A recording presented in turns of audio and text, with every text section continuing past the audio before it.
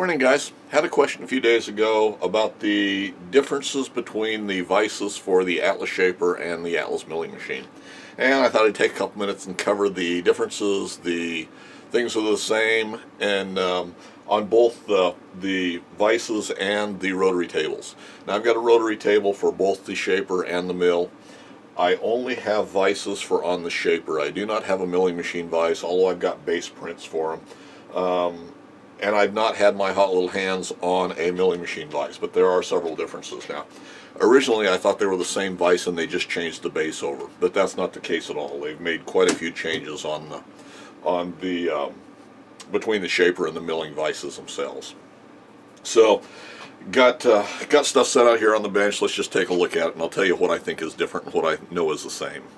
Okay, so let's kind of break this down into differences of the things that I know right off the bat, and then we'll kind of talk about things that are the same. If we look at the rotary tables, this is a rotary table off of a milling machine, and it's only got two mounting lugs on here, and the locking mechanism is kind of offset. I, I don't remember if it's 20 degrees or I don't remember exactly the. This is the rotary table for the vise. Two mounting lugs, and then it's got the key in the back. The reason it's set up this way is because there's only one key slot down the center of the table on the on the milling machine. So you can put your key in here and you can mount it. And the print for the base for the vise shows holes, but they also slot them. So I've never seen a, that I can remember seeing a base for the milling machine with either the vise or the rotary table that had just holes. Every one I've ever seen has had slots in them. And small thing, I don't know that it makes any difference at all. But anyway, that's the, that's the base. Now when we look at the rotary table for the shaper, the base is fits the shaper. Same thing, it's except it's got four mounting holes and it's got the key in the center because you've got three T-slots going this way down the, the table on the shaper table. So they're set up that way. Um, you see, and I've seen one on Fleabay here just recently that's been listed several times, that they've cut out two of these slots, or two of these bolt hold down bolts to um, so they're slotted very much like the the milling machine table would be.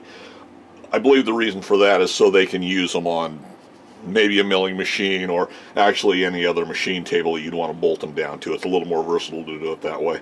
Um, I personally figure they're dedicated to the to the uh, shape to the shaper or the milling machine so I leave them there. I have occasionally used these tables on other milling machines um, and I just clamp them down with a with some sort of a you know external strap clamp or something like that. So that's been the easiest for me. The tables themselves are exactly the same. It's a six inch rotary table. I believe they advertise them as a six inch. So they're actually five and a half, but I think they consider them a six inch if I remember correctly and the tables are exactly the same. The, the spacing around the outer edges, they may be marked differently as to where they index because the bases are indexed a little bit differently from where 0 to your 90 degrees are, and they're all they're all graduated. I believe through 180 degrees is what both tables are, but they've offset where the where the spacing is on the on the um, bases themselves both of them have got two hold down bolts. You have to have a thin wrench if these are onto the table to lock the table in place solidly. Um, and it's uh, these tables are not the most versatile thing in the world. I, you know, I've got them. I occasionally use them. They have very limited use. If you want to index to a certain position and then make a cut, whether it's on the shaper or on the milling machine, they're great to lock them in place. If you want to be able to rotate them to um, put a radius on something or cut a radius slot or something, it can be done. It's not a real good design for that. So when they start advertising these for three and four hundred dollars a piece, I think they're way overpriced. I think there's, and I've said before, I think there's other, whether they're imported or used American-made stuff that's actually a rotary table with a uh, worm gear and wheel in them. I think they're a much better option than some of these little, shapers. These are good for simple milling um, or simple indexing, but that's where I where I kind of put an end to it. Now the one thing that I did notice is a difference on these, and I'm not really sure what it is, is on this one that's on the shaper, of course they've got different mountings for the index points. And these are both of these castings. This one screws on from the front on the rotary table, this one screws on from the top. Internally they're a little bit different. This is the original one and this is missing the detent, but it would have a detent spring and a ball down in the middle and it will index on this cutout, on this flat here. So it will either index in or pop out to that position to unlock them so you can rotate it. Um, both of these have the holes drilled on through for that spring and detent ball. Now this is the one that's, and I believe these are probably both original, although I could be mistaken.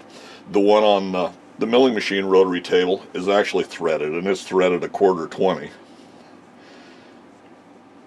And it threads in the lock. Um, I don't know if they did those for a reason. I don't know if this one's been modified and has a new new nut or if this is all factory. I just honestly have, I just noticed it yesterday when I was looking these over.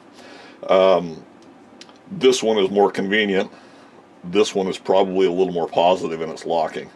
But they've done that. It still has the same hole drilled all the way through so you can, or down into the, to the bottom part of it so it will have a uh, detent ball and spring. So those are the only differences I see in the mounting, but I'm not sure what's, what's proper and what's not. So that kind of covers the rotary tables. The, uh, the vices, and let's get this one out of the way. So if we look at this rotary table and a factory vise, and I said before that Atlas I felt used, well I know for a fact that they used as few different castings and as few different parts as they could between the machines. And a perfect example of this is going to be the bases for on the shaper for both the rotary table and the vise. They are, they came out of the same casting I'm sure. Um, now there are a couple of differences. I see this this cutout has been cast, but the same basic pattern would work for both of them. So I believe that's what Atlas did. I believe they probably had a had the same casting. They probably cored this. So they may very well have had just a different core that they put in this this same casting pattern because they're both virtually identical. You know, this one when you set them this way they're they're both the same. This would have been machined off flat to accept this and it's machined off flat on the back side too.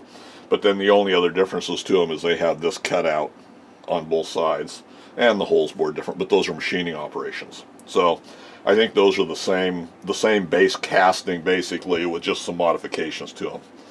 So that's the way those go.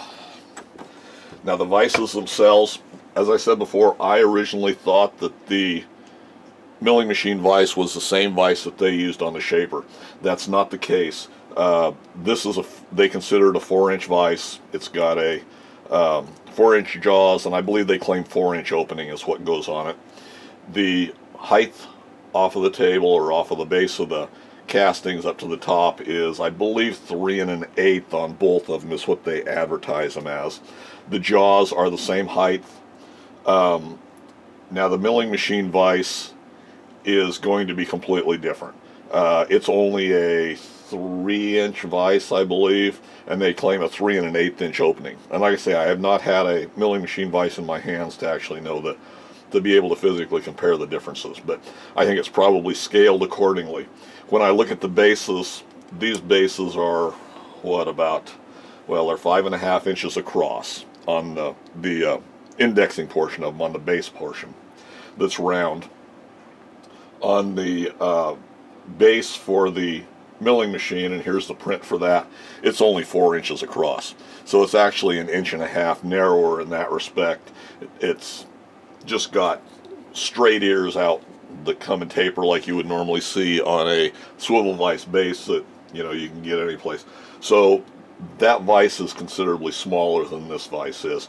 I think the main reason for that is when you put that on the milling machine table, if you tried to rotate it or even the back of this, I think it would foul with the, the main casting on the on the milling machine. So they've scaled it down a little bit so you still have rotational capabilities on the on the vise. So that's kind of the differences between them. So any questions you've got, I'll do my best to answer them, you know, but that, as I see it, is the basic differences. Um, what I did find kind of interesting when I was looking at the prints for the base is when they show the machining operations down here, they um, they show them on the different machines and how they machined them. And I at this point in time don't know what those machines were because they've um, they've numbered them. So the the first face turn cut slot drill and ream on machine number 90, and you go on down and it's cutting a keyway uh, on machine 341, and it gives the speeds and feeds and how they kind of figure that.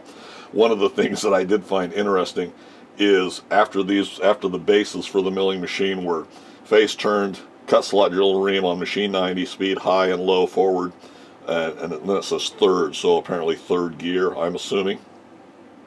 The next operation was grind bottom and tops to size, and in parentheses it says 14 at once. So they, they machined a couple of these bases at the same time, 14 at once. I thought, well, that's a fairly substantial machine they're turning those on there. So it must be some sort of a surface grinder, whether it's surface or Blanchard ground. A lot of these, a lot of the bases on some of these things were Blanchard ground if you look at them. And this is uh, scuzzy, you can't really tell. I don't know if there's any differences on any of these. These are all pretty well worn. But a lot of the machines you'll see were look to be Blanchard ground yeah, like this one, you can see see the marks across the, the base like that. So I would assume these were all slapped down on a magnetic chuck on maybe a Blanchard grinder, and they ground them top and bottom, and that brought them within specifications for what they wanted. So, so anyway, I thought you might find that a little bit interesting about what I think I know about Atlas vices and um, rotary tables for both the shaper and the and the mill. And of course there's things like boring tables that go on the lathe and someplace I've got tucked away a, a boring table for that. There's all these little different accessories, some of them you see, some of them you don't. And um, it can be kind of interesting, especially if you're trying to research what you what you have or what you're thinking about purchasing off of Fleabay, that type of thing. So, anyway, hopefully you found it somewhat useful. Comments, suggestions, leave them in the comment section for me below. As always, guys, have a great day, and thanks for taking the time to watch.